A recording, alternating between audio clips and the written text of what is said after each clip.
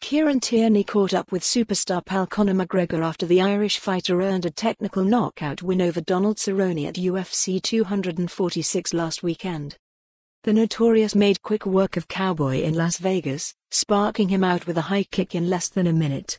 It was McGregor's first fight in the octagon in over 15 months after his submission loss to Khabib Nurmagomedov in October 2018.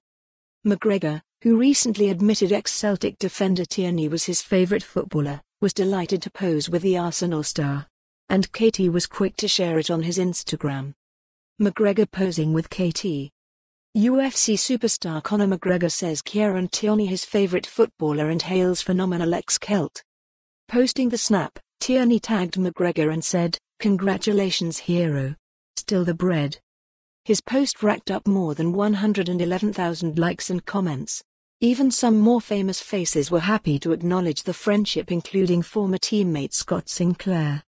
Irishman McGregor took just 40 seconds to dispose of Cowboy Cerrone and went straight into calling out potential opponents like Jorge Masvidal and Kamaru Usman, current UFC champion at welterweight. For more on this story, visit the news article link.